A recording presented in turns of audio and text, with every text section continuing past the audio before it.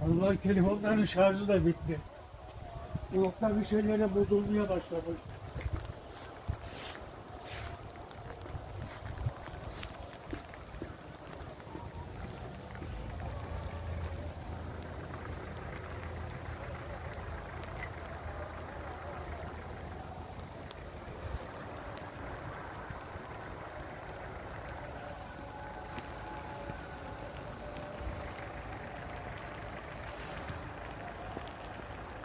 Bu nedir ya böyle?